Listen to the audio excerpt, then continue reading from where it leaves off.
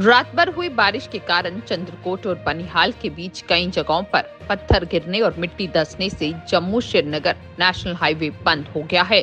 सैकड़ों वाहनों को विभिन्न स्थानों पर रोक दिया गया है। लोगों से अनुरोध किया है कि वे नेशनल हाईवे पर यात्रा न करें। वहीं काजीकुंड जवाहर सुरंग और नवयुग सुरंग में भारी बर्फबारी हुई है, जिससे लोगों को घरों से ना निकलने की चेतावनी दी है। ऐसे मौसम में लोगों का घरों से निकलना काफ़ी जोखिम भरा है।